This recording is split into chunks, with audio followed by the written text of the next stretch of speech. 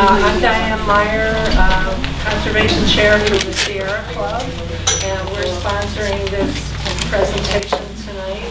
Um, Just to tell you a little bit about the Sierra Club, we we just, this fall, last fall, we celebrated our 20th anniversary of doing things in the community, and we've given pro- public programs for the last 20 years.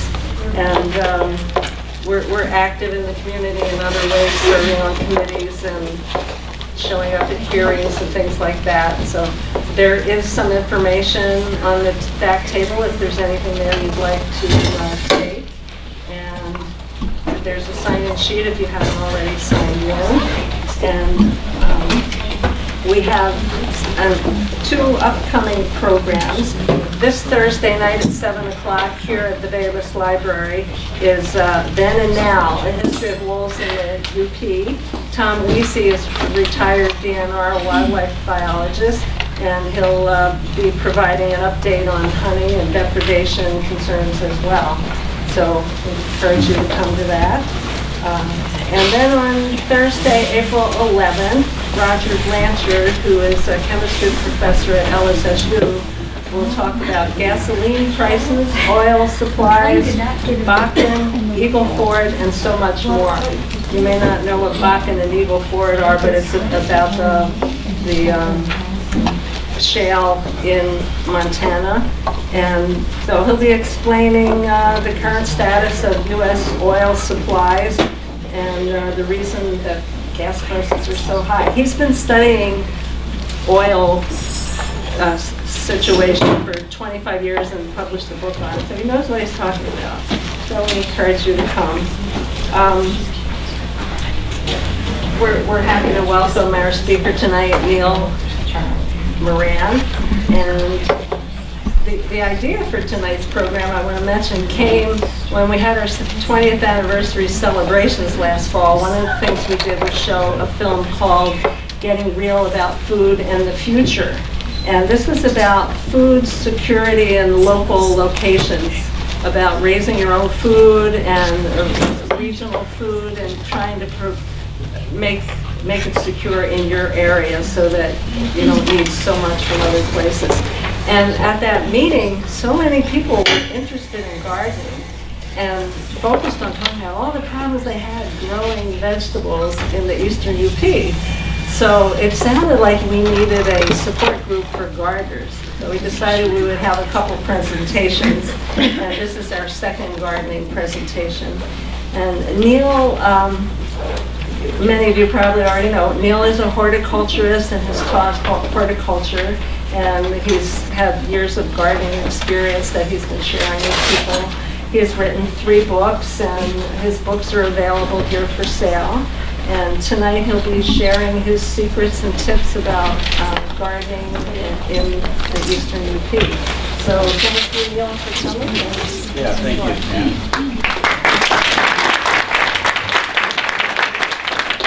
Thank you all for coming. I think we have an interest in gardening in the community, looks of it. Um, Many people feel a little frustrated with the gardening. Okay. Well, we're gonna try to, we're gonna try to fix that tonight, okay? Um, A Few things to mention. Um, What I'm gonna do here is, I'm going to split this up into kind of two parts and have like an intermission, I guess you might say. And we're going to do a raffle drawing for some items related to gardening, of course. Um, So if you haven't signed up for that, you can. Um, With my wife Sherry signing people up. Um, So we'll do that and then go, I think we're going to go to about 8:30, quarter after 8, 8:30, somewhere in there. If you have questions along the way, you know, go ahead and ask. I'd like this to be, you know, interactive. I want to help, you know, solve any of your problems or concerns. And at the same time, I don't know everything about gardening and, you know, feel free to share things you've done that are working, you know, especially in this climate, you know, our short season and so forth. So, um, for you folks that, I do see some unfamiliar faces here. I've, uh, I guess my claim to fame is I wrote a book in 95, 1995, North Country Gardening. And, um, and it, it, that book tells about how to garden mostly in this kind of climate, in this northern area where our days, uh, our growing season a little bit shorter, right? Things like that. Um, I got the idea of doing that because I came up here from the thumb back in 78, 79. Um, I got a plot to garden and pretty soon found out that this wasn't going to be quite as easy as it sounded. But I figured out a few things along the way, and I'd like to share some of those thoughts tonight and and ideas. Um, But this is gardening 101, so I'm going to take you right, you know, from the basics. Maybe try to look at this as, as, you know, a recipe for a, you know, cake or bread or whatever, where I'm giving you the ingredients to grow a, a good garden. And, you know, really, more and more lately, I've been thinking about, um, you know, how I'd like to see people to be successful uh, growing gardens. I know they get frustrated. We've got community gardens. Some of those look real good. Some, you know, you can see that maybe there's been some frustration with weeds or whatever. Things not ripening. In fact, I heard tonight, somebody said they'd been here four years and still haven't gotten much, you know, except maybe weeds and a few tomatoes. So hopefully, we're gonna, shouldn't say hopefully, we're gonna remedy that problem here tonight. So, some of these tips. Okay, it all kind of starts with the soil. And I want to explain these things, I'm not going to get, you know, real deep into, deep so to speak, into uh, plant science, but you should know some of this basic stuff here. You know, we got clay, the smallest particle, holds water well. You know, if anybody here gardening clay, we know that when it dries, it's very hard. Um, Sand, on the other hand, you know, kind of the other problem, doesn't hold water so well. Um, The advantage up here at least is that it does dry out and kind of warms up uh, quick in the, in the spring, so that's, that's a good thing. Um, And then sandy loam is really kind of a mix of all that, um, plus the silt. And that's really the ideal uh, soil that, that you want, so. um, In this area, you know, there's some all clay. I'm in kind of a sandy loam out, uh, out Riverside driveway, the clay road. Um, you know, going kind of west, it seems to get to be real clay. Out around Brimley Way, sand, right? So, so what are we gonna do about it if we got that clay or sand? So what would you amend, or what would you do to improve a clay soil? What might you add, you know, or? Sand. Compost. Compost. Okay, Moss. compost. How about a sandy soil? What would you add to that to make it a little Clay. more? Compost. compost? Kind of a trick question. So, yeah, in both cases, we want to use an amendment, compost, you know, well-rotted livestock manure. Um, And another thing I want to do tonight, and, you know, by all means, ask me if I'm not explaining it. I want to be practical, you know, I want to give you an idea, and then you don't really know locally what to do or where to get it. So I want to be real practical, so when you, you know, you leave here tonight, you're thinking, okay, I'm gonna go here to get this and that, and, you know, really do this. Um, So, you know, compost, well-rotted livestock manure, these are good amendments, and, um, you know, locally, you wanna, might wanna see a farmer, some people give it away, some people sell it pretty reasonably.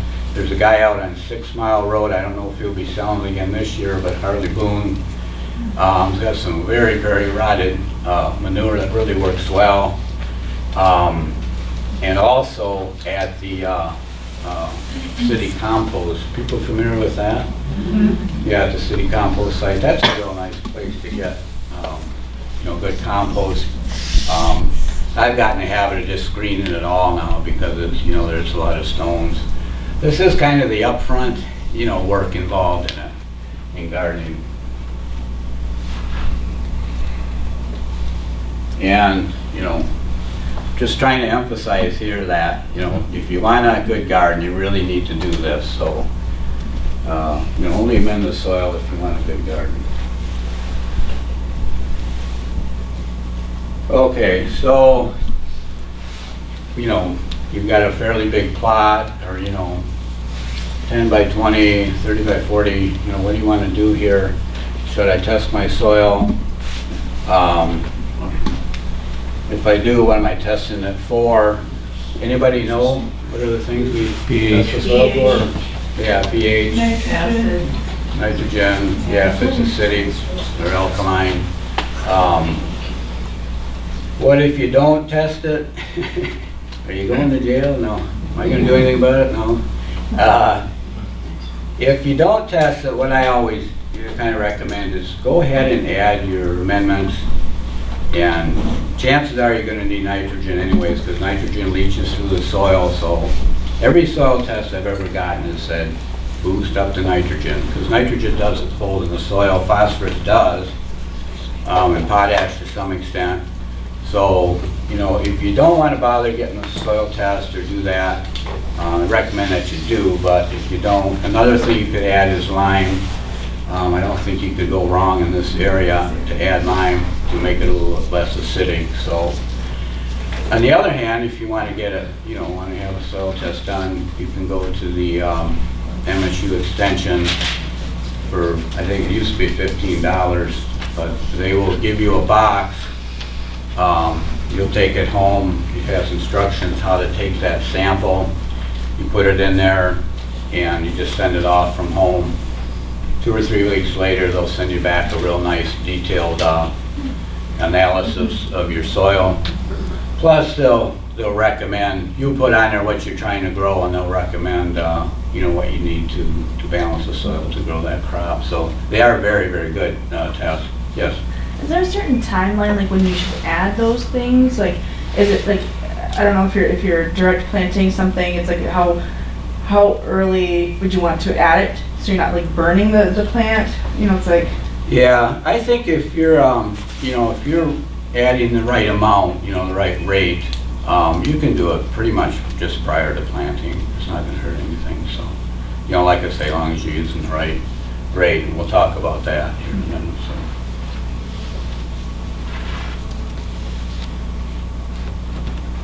Okay, this is some basic stuff that I think is really important. Just something you want to kind of have in your, in your mind as you're growing things in, in different stages of development and so forth.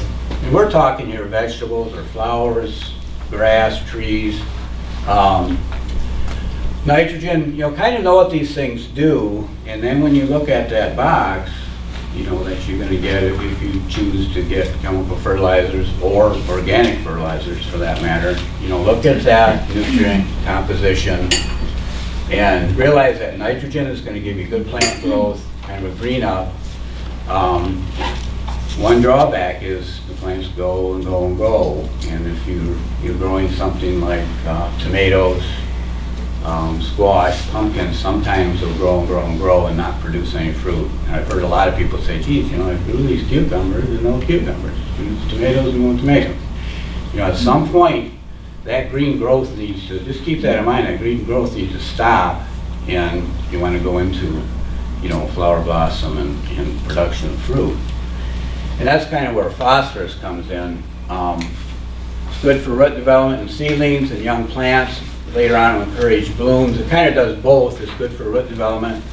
Again, think, um, you know, if you're seed starting at home, um, phosphorus is a good way to kind of get that root, get those roots developed. Um, So I use kind of a high phosphorus content when I'm starting out my seedlings. Right now, I've got a few things started, um, whether it be flowers or, um, you know, vegetable transplants. Um, You want kind of a high phosphorus. You don't need a lot, of nitrogen, you know, when the seedlings are real small. Um, Backing up a little bit, nitrogen, you know, is good for a nice green up um, for your grass in the spring. So, you know, think high nitrogen. So you might think high nitrogen for that, you know, maybe low nitrogen if you're thinking more like transplanting your perennials, um, you know, starting seedlings where you want good root development. You don't want your young plants just to kind of take off without, you know, roots are really the foundation of those plants. If you're, anybody uh, things inside in the spring? I'll say, okay, so keep that in mind. Um, And then potash, you don't have to, or potassium aids in plant hardiness, overall health. Just make sure it's, a you know, it's in your blend of, of fertilizer and it should be. Um, Minor nutrients are just that, they're needed in lesser amounts. Um, Still a good idea though to make sure, you know, just kind of, there- there again, just kind of make sure that it's in that fertilizer bag. You know, excuse me, rather be organic or inorganic. Um, I worked out at the prison for several years. Um, we had a commercial greenhouse and we started petunias. And I brought, bought a blend, you know, from a company and which I thought was gonna be fine, nitrogen, phosphorus, potassium. And the leaves were real, real yellow on the plants. That first year was kind of an experimental year for us. I mean, really yellow. I mean, and, uh, so a guy from MSU came in and he looked at that bag and he said, there's no iron in, in this uh, composition. And, and iron is also something that helps plants green up. So a lack of iron or, or no iron, you're gonna get what they call iron chlorosis or it becomes chlorotic. So, so just make sure, um, you know, your blend has those minor nutrients. And some of those nutrients are found. You got a well around here, you should have plenty of nitrogen, or uh, iron in it, shouldn't you? Pardon me? So if you got a well. Well water? Right. Yeah, yeah, I think so, yeah. iron. Yeah, it's normally not, especially outside, eh, you know, it's not a problem, uh, and if you're not using city water, so, yeah. Speaking of well water, if you have Culligan water softener and it, you know, it softens the water, goes through a salt bath. Uh, my zucchini leaves last year were like sunburned, it looked like. And I- Really? I never, I only had a couple zucchinis. Hmm. And I think it was watering with that water. And I can't just, well, I can, but it's gonna be expensive to, to get a tap straight from my well without it going through the house first, you know? Okay. Can Oh. you capture rainwater? I, I don't, I, I can now, Yeah, I that should. might be a good idea. Yeah. Yeah, salts are bad, so. All right, good. Any other questions?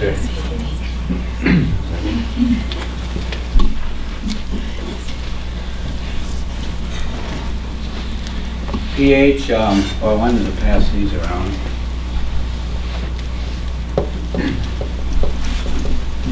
You have enough of them there yet? Hmm? Is there enough there? I don't know, I Why don't you give me so. one and I'll see if Pretty everybody close. comes to it. Let's take one. I would just do one. Yeah, does it matter? Yeah, it certainly does. Some plants, um, you know, just do better at, a- at a different pH range than others. Um, you know, an extreme example is blueberries, right? They need more of an acidic soil, which is gonna be a high number or low number? Yeah, it's gonna be a low number, four point five or five, so, um, a balanced pH is what's going to allow your nutrients to work most efficiently. That's why it's important. And if it's not in balance, the nutrients aren't doing, you know, all that they can. Um,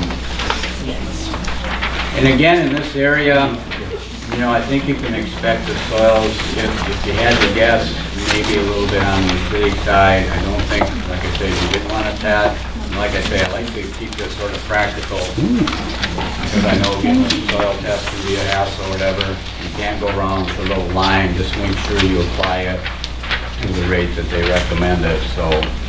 But if you, you know, you do decide you want to go with strictly blueberries, azaleas, rhododendrons or something, just remember that doesn't hurt to take a look at a, at a pH chart.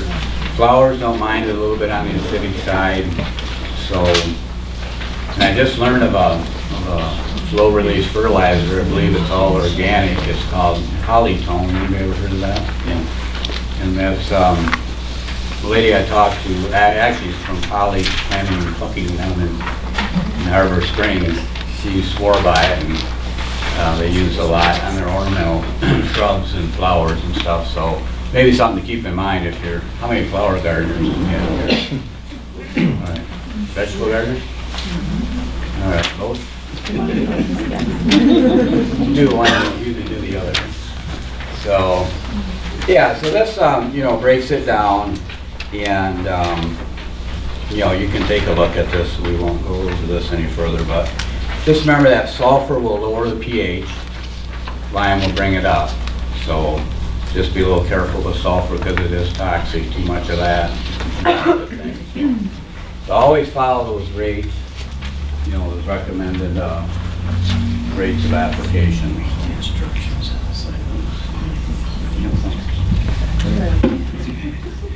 And then, of course, uh, above that, I I put the uh, major and minor nutrients, so you have that as kind of a reference. Um, Try to keep those things in mind. I think that's really important. Try to think about, you know, what stage of growth your plant's in. Um, Yeah, you're putting lime on the lawn, don't even get close to the blueberries because it'll wash in. okay, yeah, that's a good point. Yeah. Yeah, same with uh, herbicides, trees. Yeah, yeah, stuff will, stuff will leach down in, so. Yeah, I gotta be careful about this stuff, so. Another thing about fertilizing, that, that, you know, this is kind of my personal belief, is better to under fertilize than over fertilize. And another thing I wanted to, to mention too was, um, I kind of skirted by it a little bit, but on soil, I mean, soil is really where it's at. And there's all kinds of things going on in that soil that we can't see. If you ever had a microscope in there, it's just amazing.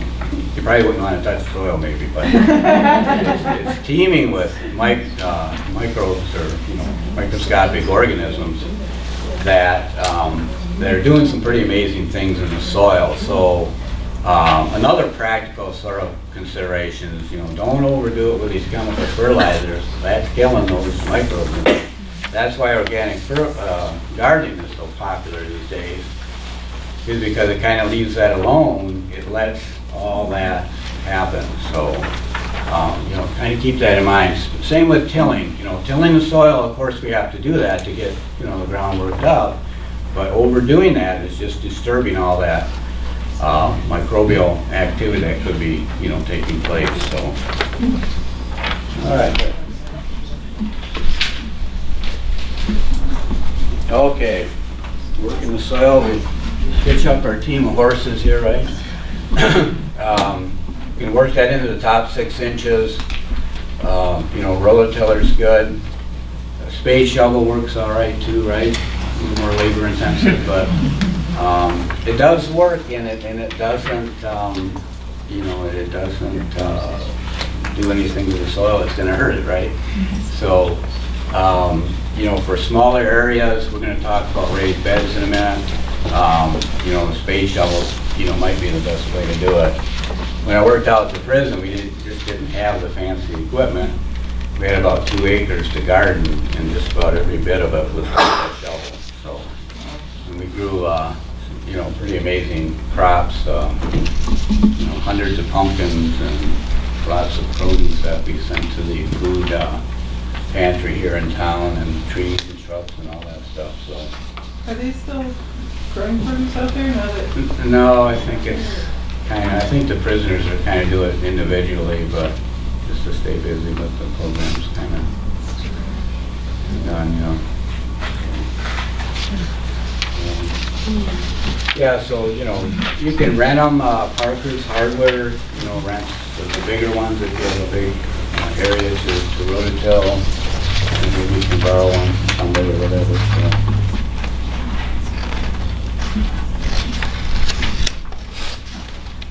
Okay, this is something I was kind of excited about talking about. There's the raised bed gardens. Anybody using those right now, or? All right. Um, One thing I think I'll mention first before I, you know, talk about these structures is just, don't let, you know, the fact that you didn't how many lumber around or can't afford it this year or whatever, stop you from doing a raised bed garden. I mean, you can take and, you know, dig out around that and just mound it up. I've got an area that's 30 by 50 or something that I garden. It's just not practical to put, you know, uh, all those boxes out there. Although I do, when I replaced all my windows, those frames were like, hey, these will work for raised beds. So all my windows are sitting in the garden, but but it is kind of low out there and um, doesn't warm up well in the spring. In fact, the summer before last, it was so wet that some of my tomatoes actually just died sitting there in the, so after that year, it was so wet, I just took and mound it up in the middle for some of those things, and boy, that, that really, um, why didn't I think of it sooner kind of thing. but, uh, Really works well, so I do that with just about everything except for my corn, um, some other things, but, um, so anyways, uh, the thing that I like about these is that um, you can make up your own soil. If you're in that clay or sand, um, another thing that was funny out at the prison was, um, that's predominantly sand through there, and the guys would get leaves and, I mean, they would get things from the kitchen, they would scrounge, I mean, they're good at scrounging and making new, and they would throw it in a compost pile, and they'd break it down, and they'd throw it on the gardens. And after a year, I mean, that was still, they call that soil texture, but that soil was still sand. I mean, it's just amazing. You cannot change the texture, you should change the structure of the soil, but you can't change the texture of it. And, um, you know, it was just always sand, always will be sand. So, uh, which kind of brings me to the raised bed. You know, you could, you know, you know, uh, frame that in and bring in your own soil, you know, and quit fighting that clay and sand, so. um, If you could take something like this, go down to the, you know, compost place there in the sewer on Spruce Street and just fill that right up, you know, or mix it with some good topsoil, good topsoil.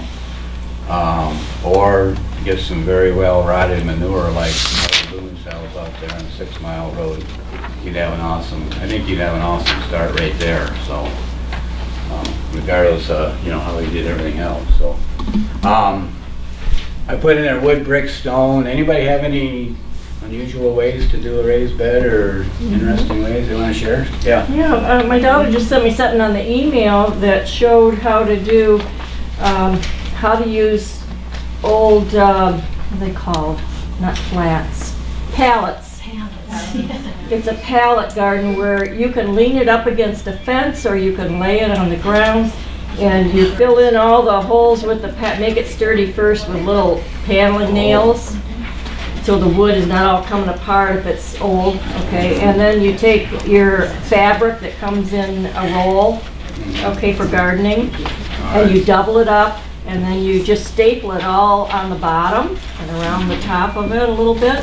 And then in every open slat, you put your good soil, and then you put a row of veggies, a row of flowers, a row of, Really? you know, uh, herbs, whatever, and you can lean it up against a fence. You can, um, leave it down on the ground if you have a spot and it would be sort of a raised bed. Kind of helps with the weed problem too, it sounds like. Yeah, you can plant your things close together and, um, Yeah. the only problem is watering it. If you water from the top, it doesn't always reach the bottom, so you've got to, you know. And you have to be careful with the pallets. Some are heat treated and some are chemical treated. And the chemicals are not good. You don't want to use the ones that have been I think she, treated. she covered all of the wood, um, where the soil would lay in, like if it was flat on the ground.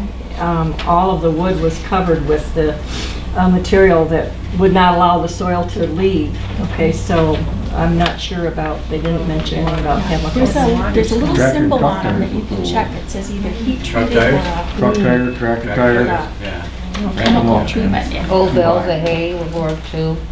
yeah. Are railroad ties then bad because of the chemicals to mm-hmm. use? Yeah. Yeah, you don't want to use that creosote, that stuff is nasty. Okay. Yeah, plus, once you get those things in your yard, you don't want it anymore. It's like, how you gonna let this big thing out of here? Well, how do you road it till that? I mean, Yeah, you know. you don't. Turn it over, so. Well, it I on the really size like of the idea the of just turning some of those beds over with a shovel sometimes and Yeah. not Small. disturb it. Yeah, when it's small. Like my corn rows are thirty feet long and there's five or six of those, so I use a tiller, I not. But, um, yeah, for the smaller rows or raised beds, I just, I use a shovel, so.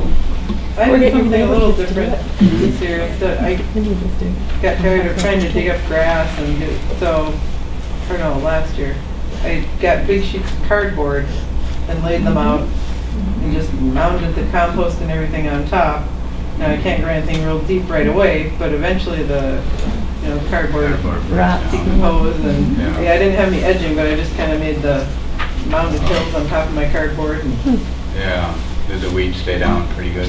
Yes, that really helped because I've had a terrible time when I tried to dig out with weeds. I just, because my lawn is, Yeah. I avoid the chemicals, so my lawn is not real pretty Yeah. and. Yeah, natural, it's healthy. Yeah. Yeah, Nancy? Uh, if anybody's seen the garden outside of Kettle Barn Ashland, that's how I did that whole flower bed. I didn't till that, there was burdocks, there was raspberry bushes, you name it. It was so ugly. I paid somebody to clean it up and he, he gave up, he gave me my money back. And I said, how am I gonna clean this up? So I went out there with cardboard, I didn't till everything. I cardboard that whole lot and then I put a little bit of soil on top and threw all the seeds in there. No weeds. Really? Yeah. I didn't have one burdock, I didn't have one raspberry come through that cardboard, and it's been two years. Yeah, Petals on Ashland. Yeah, Fiddles on Ashland if you get a chance this summer. My sister saw something on the internet Yeah, in the about back? layers You of need a lot with topsoil. something else. Lasagna. Lasagna. Yeah. Well, yeah, there's a, there's something to talk about here.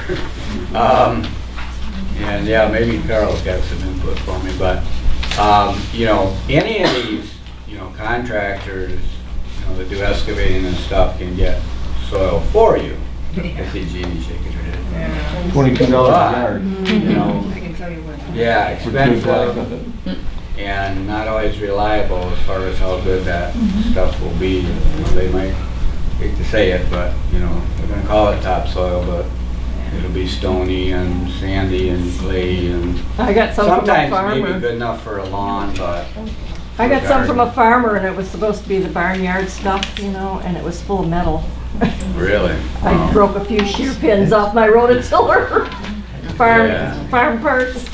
Oh, man. Another thing to consider is you may be importing some weeds that you don't want, weed mm-hmm. seeds Yeah. and invasive plants. Mm-hmm. Yeah, Napoli. yeah, Can I add something to that? yeah. I've been gardening for a long time and it's too bad my body gave out when I learned everything. But anywhere you get your soil, whether it be the compost or the farmer or anything else, that first year you're gonna have weeds like crazy. Get yourself a scuffle hoe, just take a little bit off the top and just keep working it. As long as you don't till that seeds back in again and again, you should be weed free within a year. Use the cardboard between your rows to smother it. If I found out that since I bought the, the shop, I'm not home. I used to have some beautiful gardens out there. But I haven't been home in three years. I decided, get out there with that cardboard and I went down the paths where I can't go and the weeds are cropping up, just to hold it until I'm home again soon. Yeah, Just smother it with the cardboard. yeah. You, you really want to be careful with cardboard. Just be cautious. There, there's good cardboard and there's bad cardboard. And, and the devil's in what holds it together. The glue? So, um, just a point that was brought up. You want to do things in sand, it takes more to hold it together. And there's one technique that works, and that's lasagna gardening. Yeah. And so, um, I'll I'll just say that right there is a perfect example of a lasagna garden that you can mound up and, and just go nuts. And you use very little soil because you're layering those pieces of compost. And roots actually like to feather themselves out. And so remember what you're planting in those, in that layered material. And then you'll be successful. Keep notes. What's amazing too is when you put that cardboard down, you get some compost over, it, whatever, uh, mulch. At the end of the year, towards the end of the year, you'll dig that up and it's like a moist cake. I mean, it's just that And the worms, the worms are just worms, like tremendous. Yeah, and all that microbial Mhm. action is taking place too, so. Yeah, very good, thanks, yeah, thanks. Um, so if you do wanna build it, I know Parker's Hardware, I just talked to them this week, maybe Lock City too, has, I know Parker does for sure though, has the, you know, angle brackets or whatever to put the boards in there. They didn't have real wide boards, maybe Lock City does. Um, Scott down there recommended cedar. The, the, the treated lumber does still have some, you know, it's treated. You know, it's not as bad as it used to be with, uh, um, whatever it was, arsenate that they had in it. But it's still, you know, got a chemical. So cedar would be a good option. And then, of course, you can always go online or in these catalogs, they sell these vinyl types, I think, and then I've never used those. You just seemed a little too pricey for me, but, um, but, you know, they, they probably hold up pretty good, so. Um, there's good local cedar too. We put up a fence, we got some from Evelyn, I think it's a cedar shop. out The there. cedar shop. Yeah. Yeah, Okay. and I know there's some other people that have, uh, you know, local sawmills and stuff, they can get just untreated cedar that, Yeah, yeah, yeah, that's not There's lots of white cedar out Cheap way. there. South of here. Yeah. we're in There's a whole pile of it. So, well, there you go, that, and also, you know, I'm gonna recommend if you're just starting out in gardening, you know, starting small, starting something like this, it's amazing what you can grow, how much you'll be able to grow just in, you know, an area that small, so. And that just showing another one there, I guess, but. Uh, two by ten, I was just referring to the lumber, I don't know what height they're going, eight, eight inches, ten inches, somewhere in there. This was a picture I took, um, out in Brimley. These folks had a place, I know you've seen these kind of places around here a lot, you know, cabin out by the water, lots of trees, but they had one open area, sun, and right by the driveway. And you can't see this completely, but this is actually a raised bed that's standing about, you know, yay high, like a, like a workbench. And, um, those are my tomatoes I gave them, Celebrity tomatoes. I was kind of proud of that. Um, They, they grew them in that and just, uh, they just did really well, just in a little bit of sun the last two years in a row, in fact. I think that's actually from the year before last, which wasn't the best tomato year. They got another picture of that. What was the variety of tomatoes there again? Celebrity? Yeah. So, um, oh, we're at our intermission here, so. Um, yeah, we're gonna do the raffle right now, I guess. I thought maybe this would be a chance to break this up a little bit. and,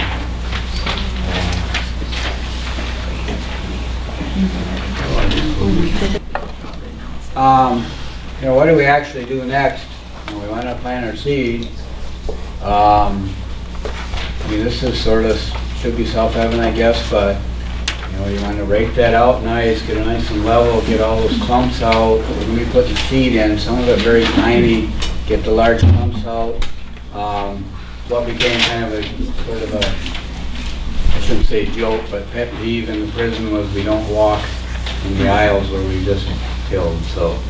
It does, um, actually, the prisoners got on me about that more than anybody. Uh, But it does make sense, I mean, it causes compaction, and we don't want that. Um, Which is another thing too, you know, is, you know, just, just keep in mind that, you know, tiller action, wheelbarrows, all that stuff. You know, try to get some paths, if you have a big garden, try to get some paths, use those, you know, try not to, uh, trample over what's already tilled up, so. It does make a difference.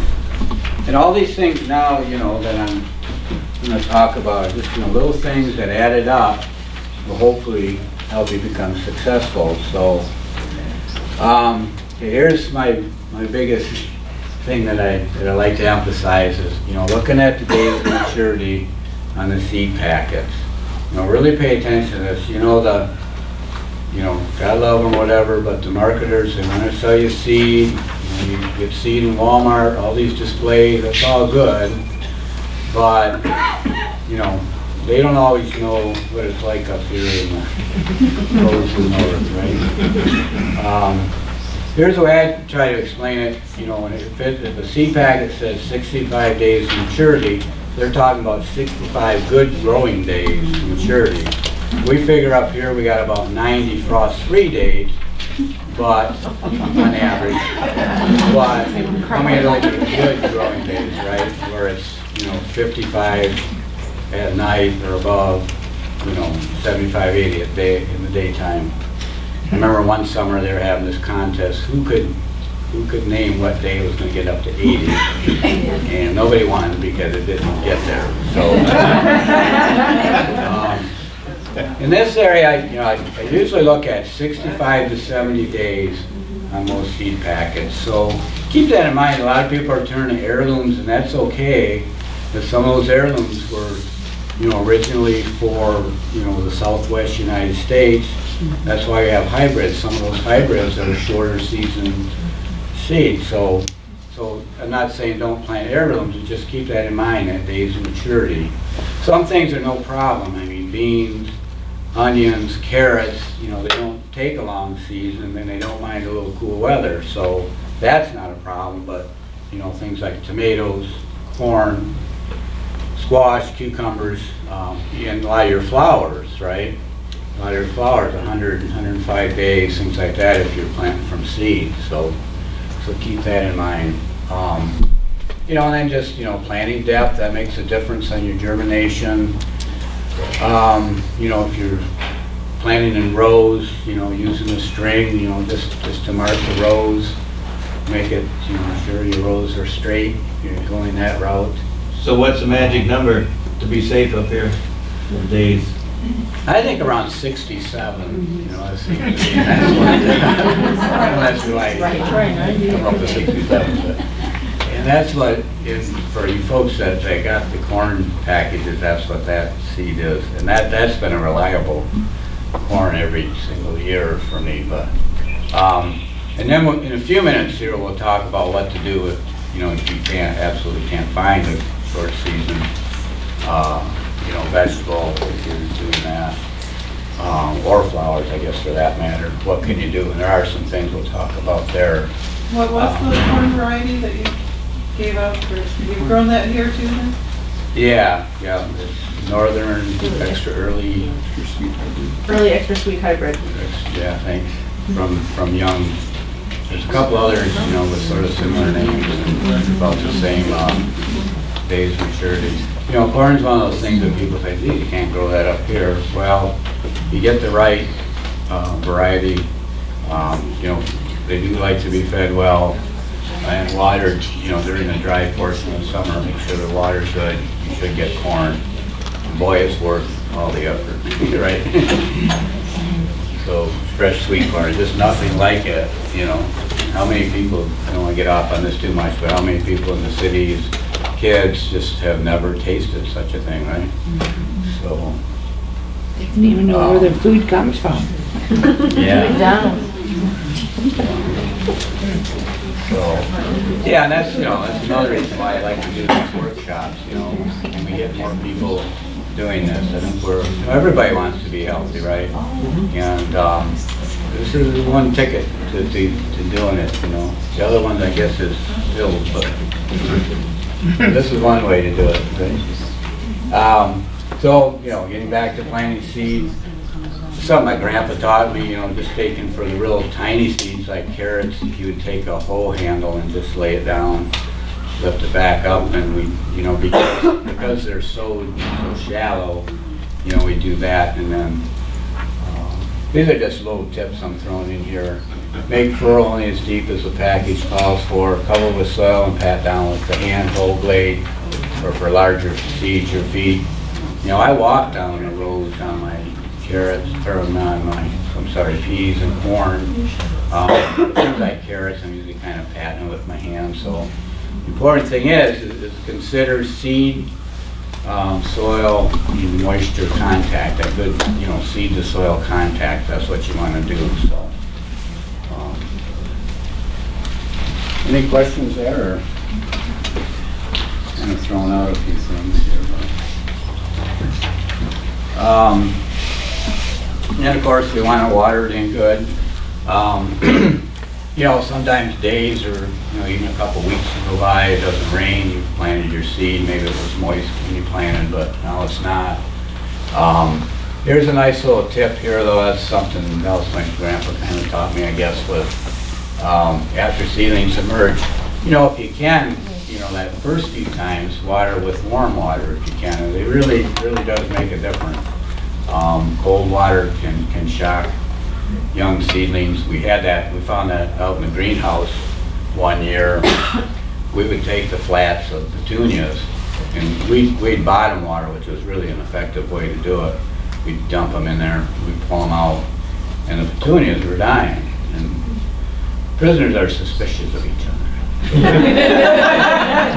You can imagine, right? They were pretty sure somebody came in at night or something and was sabotaging what they were doing, and they were almost, you know, duke it out mad, you know, and I said, well, why don't we look at some other things, you know? So, actually, I called a guy downstate who's been in this longer than I had.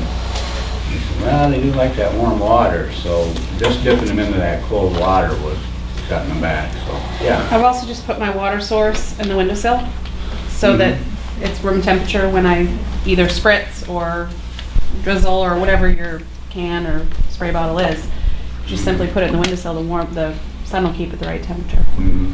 Yeah, yeah, again, it's, you know, it's these little things that, you know, kind of add up to, It's a reason why Successful using thing. your well water is not always good, because it's too cold. So cold, yeah. yeah, if you could warm that up. Once the plants get going, you know, and summer gets a little warmer, you know, it's just not gonna hurt so much. I'm not suggesting, you know, that you have to put water on the stove every time.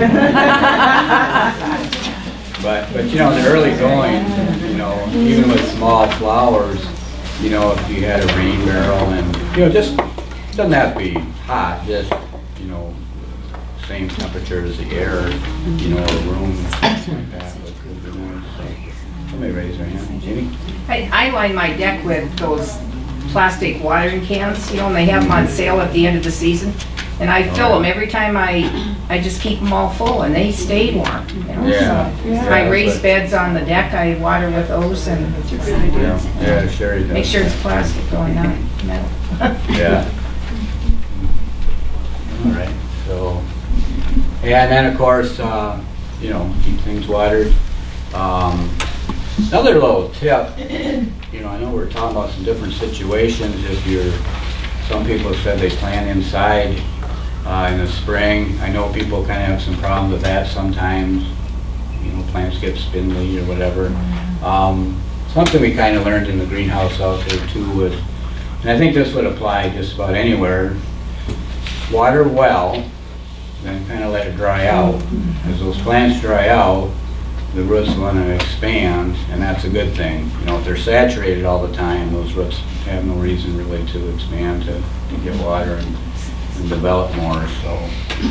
Um, that's really a good, uh, way in the greenhouse, or, you know, if you're planting things early inside, it's a really good way to, to start, to get a nice, or, you know, to get a nice, uh, root ball formed, so. That really is kind of the foundation of the plant. So if you think from the bottom up, that's a good thing.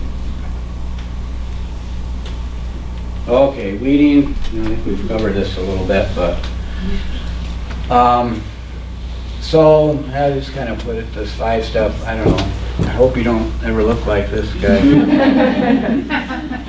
Beating, just giving up, you know, and beating the crap out of it, but, um, hopefully we, you know, we can, I think this is a major problem and, you know, or it can be.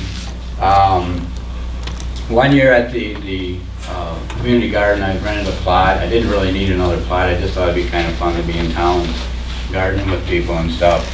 And I knew I wouldn't be able to get there and to weed it much. So, you know, I just planted the rows and then I had my plants, you know, everything spaced about right. And then, you know, like Nancy was talking about, of course, in this case, I put down paper, newspaper, about four or five sheets. And then I, they had some uh, wood bark down there, so I put that over top. And boy, I did very little weeding that, that year. So, um, you know, the cardboard and the newspaper really does work. Straw, um, you know, don't use hay because of the weed seed in it, but Straw's another good one. Problem with straws is, you know, it's expensive. I've never found a way around that. I'm not a farmer, so.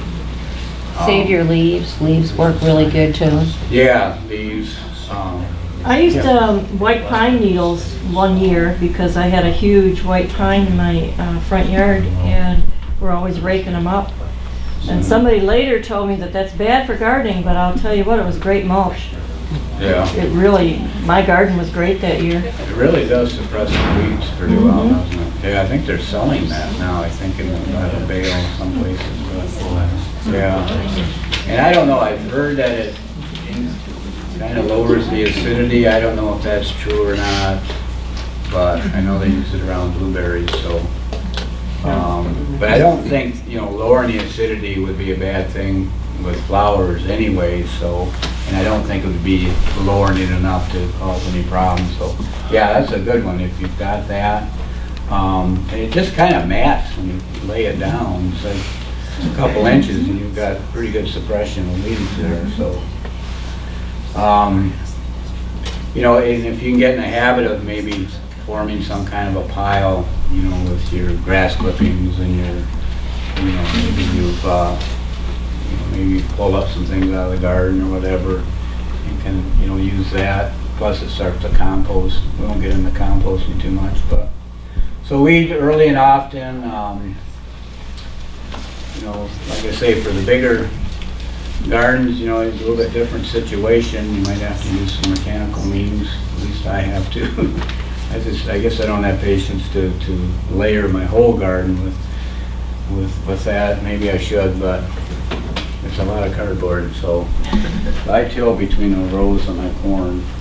When you talk about plant spacing too, I have a garden that's about 30 feet by maybe 50, and um, I tried to plant too much one year, and I did um, climbing beans, okay, Kentucky Wonder Beans on sticks, okay, made tents, and they molded because they, they were so close together that they Really? didn't get Yeah. enough sunlight. Air. Maybe it was a pretty rainy year, I don't remember now, but Mhm. they all molded. Yeah. So, yeah, you keep things spaced. Um,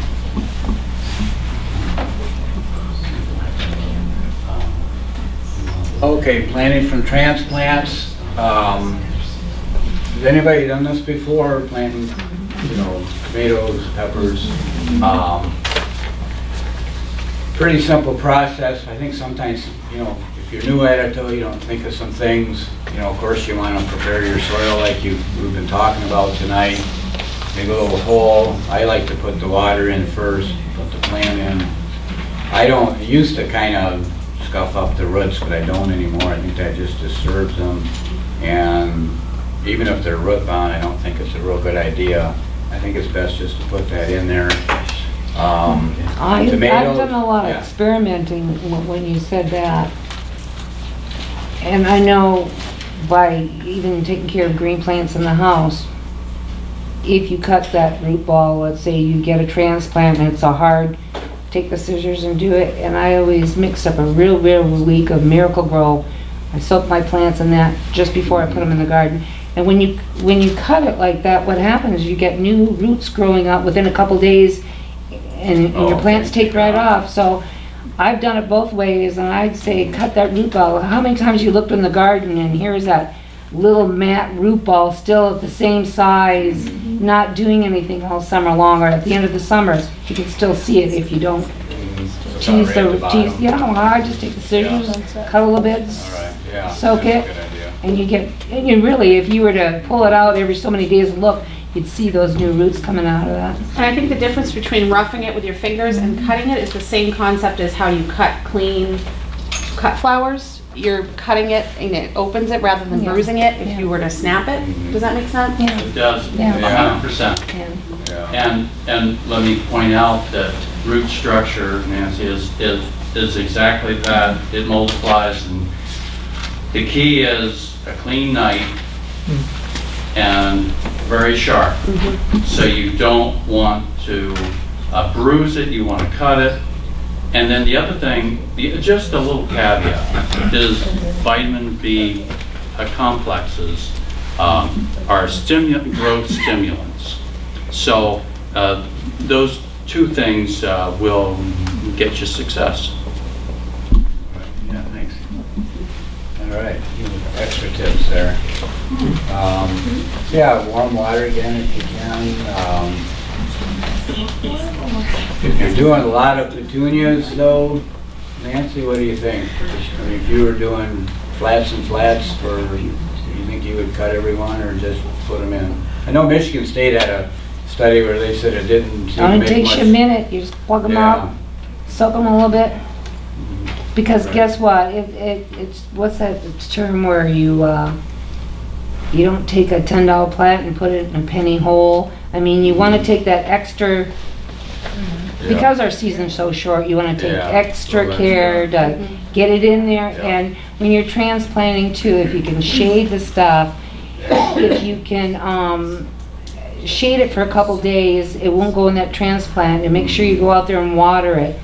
How many t- of us have gone, got, got a, a flat of flowers, taken it home, left it in the car, left it on the sidewalk. Next day you go out there and they're all, you've gotta go home, stick them under the shade, give them a drink of water, if you can't Yeah. get to planting them, and frost free too. Yeah. But you have to give them those, you have to give them a chance. Mm-hmm. Well, One of the things that happens every year is we, in, in this community, we plant the gardens out in the spur, we do other things. And we lay those plants under a tree at the industrial park, and they just sit there. Mm-hmm. And what we could be doing is putting, putting them in a, in a source where their roots are gonna grow, mm-hmm. just like you're just Yeah, saying yeah. give them every opportunity to do better. And we'll grow too. Water. Yeah. When I you're mean, transplanting, water's the key too. You just, you just can't plug it in there and walk away for five days. When you transplant them, they need, Yeah. And compost sucks water. it's like a sponge. Yeah. Yeah. Yeah, mulching around them too, really, you know, if you're doing, setting out cabbage, you know, things like that, lettuce, you know, mulching keeps that moisture in good, so. um,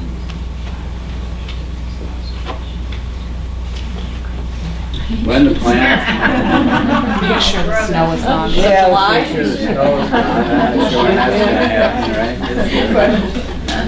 Um, I plan to plant in snow this year, actually. That's what I plan to do. That's It's my awesome. experiment this year. Daffodils in the snow. I'm not sure how they came up out of the four feet of snow, maybe, but. How do you decide when to plant? Um, well, okay, there's some, I pretty much, I mean, you know, to some extent, you go by the weather, you know, when it comes to vegetables. Um, and to some extent, you're going by the calendar. And the reason I say that, you can't wait too long. Um, so it's kind of a tricky trade-off, right? Um, But here in, in, in general, you know, late April, early May, you know, depending on the weather, of course, you know, you could put in, in some of these things listed.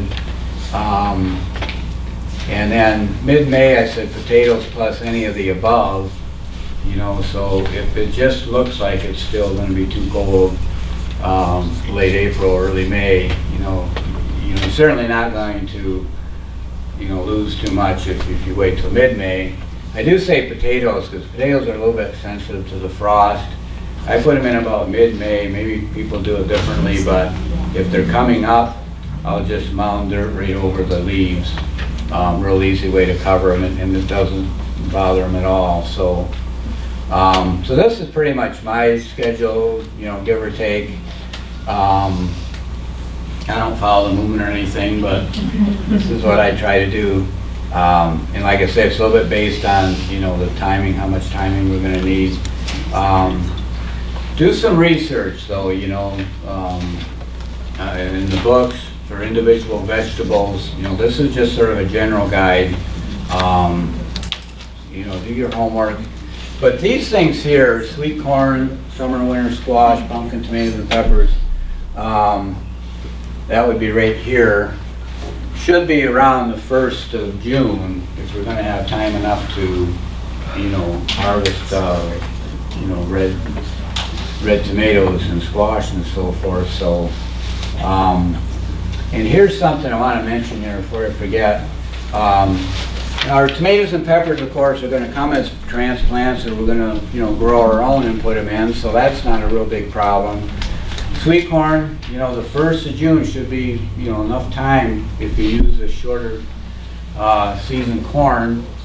Um, but pumpkin squash, um, there's a third one I'm not thinking right now, but, um, need a little help. There's not too many that are sixty-seven days, seventy days, and more like pumpkin, I think, you know, like ninety would be the least, uh, days. So what you could do, I mean, I've got grow lights and so forth, but I think even in a window, a south facing or east facing window for pumpkin, if you could just, you know, fill these, pack this kind of nice and firm with some potting soil, um, and put in your pumpkin seed, you know, maybe just one or two in there. Get a little boost, um, you know, maybe do this, you know, after the first week in May, somewhere in there. Get a little start, don't let it get too big. And then put that out. I mean, pumpkin and squash, you really gonna need a little help probably, um, especially pumpkin. But we have grown some pretty nice ones. Out to prison, we had these tents that went over them. Um, you know, in the early spring, it kept the wind, cold wind off them. We had hundreds that we, I see Joanna left, but that we had given to Pickford for their, uh, uh, community days or whatever they had out there, so, um, but thi- this, here's your season extending ideas. Uh, you know, started in here, you put it out around the first of June, you dig a hole, you put lots of compost in there if there's not already lots of compost in it, mound it up a little bit, get this on, you're, you're trying to take, you know, that sixty-seven days or whatever, you know, and extend that, or make up for whatever you wanna call it.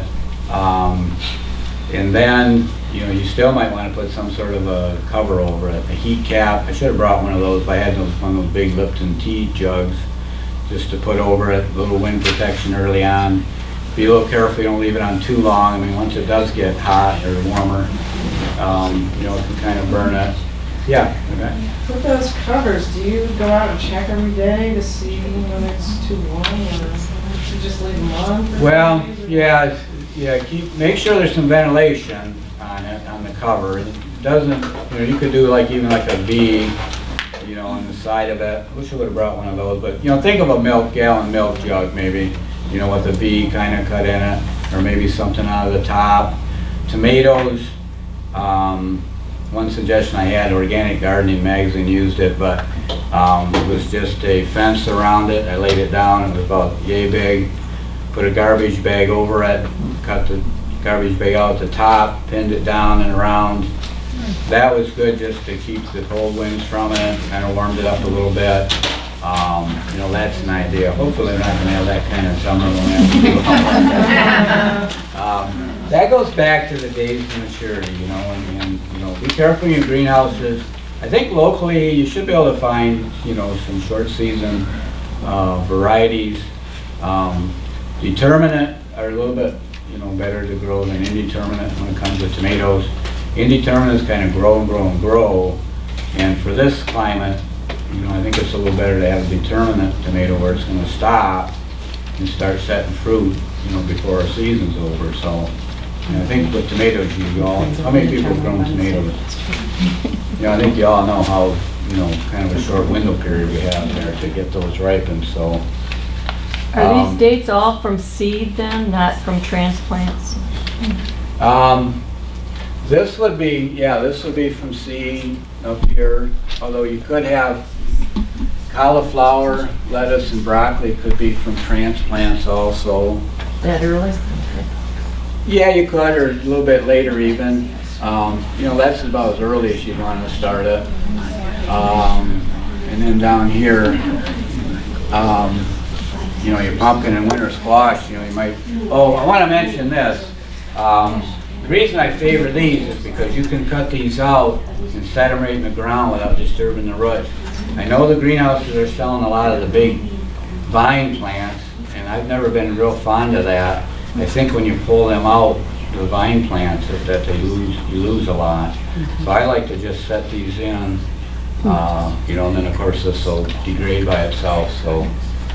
Um, And then beans, the the big problem with beans, of course, they germinate real quickly, and if you still have a frost, they're real sensitive to frost, so you want to wait till, you know, more like around uh, June 10th.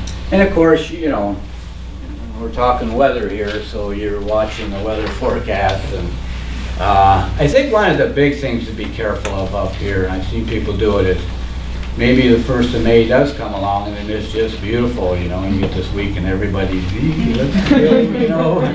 And they get, you know, "I'm that weekend, you know, okay, you know, and then, uh-oh, you know, we got that big thing coming down from Canada or whatever, and, the- what do they call it, the jet stream or whatever, cold weather and a frost. So that's why I say dates, or I mean, dates versus weather, you know, you, you have to kind of uh, think of both. Yeah, yeah. I can't grow a decent radish. What are some tips for getting a good radish?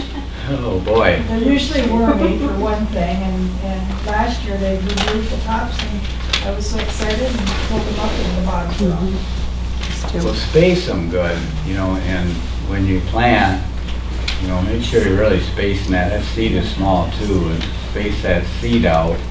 Um, I know people talk a lot about the worms. I never had those. Maggots Yeah, are, maggots are, are um, essentially beetles, and they're in the soil already. So disturb the soil, solarize it, they come out of the soil, it won't be a problem as, as much. But get your, get, uh, uh, try moving your, your material to another spot.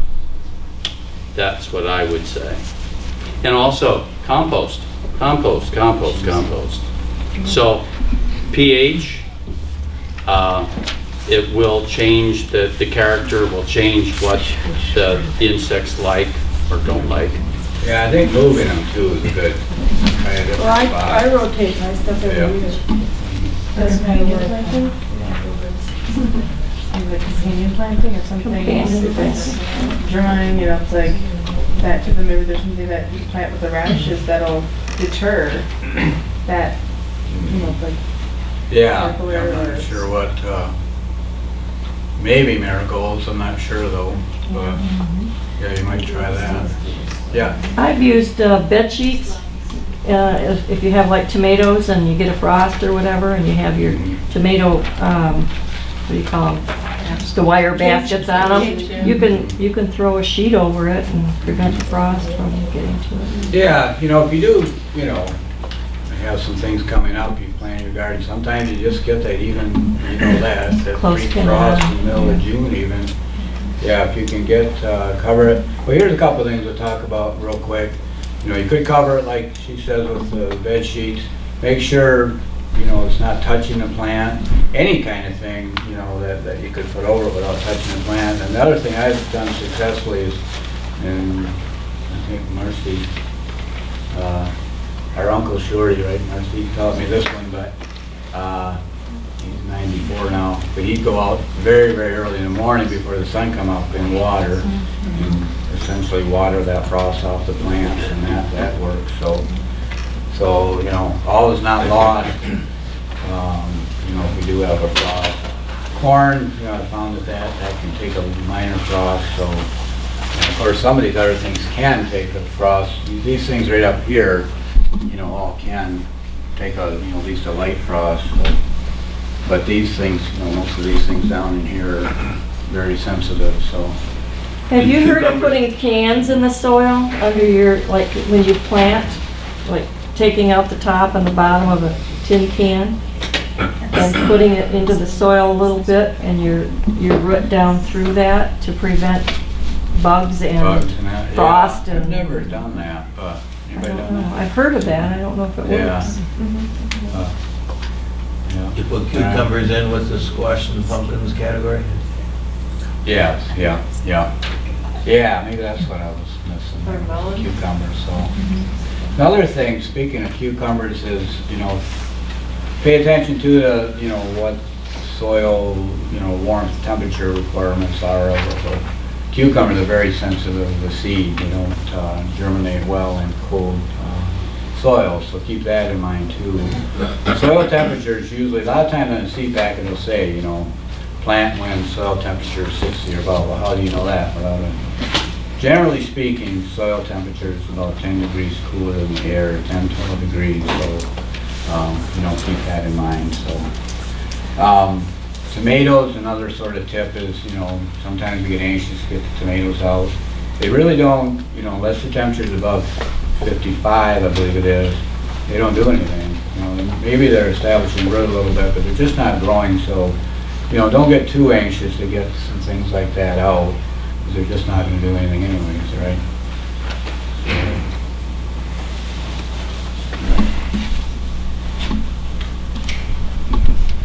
Okay, just kind of quickly here, proper spacing, remember that. Um, carrot seed, you know, I, I used to have that problem of, you know, just putting too much in and then it's really hard to thin it. so, uh, there's these little green things you can buy now, they're just, they're real cheap, that'll help your plant, you know, if you see those little plastic planters. Uh, tomatoes, we talked about that. Um, good soil to seed contact. Make sure, you know, that, that soil's pressing in nice around the seed so you have that contact. Plant cucumbers in hills, uh, use raised beds, or I say three foot, I mean, that's just a general thing, but three foot wide mounds in wet areas. Like I said, you don't always need the lumber and that stuff. You know, even if you can mound it up, it can help a lot. Um, make sure not to plant heat-loving plants like cucumber when it's cold out, soil's cold. Don't flatten too soon or too late.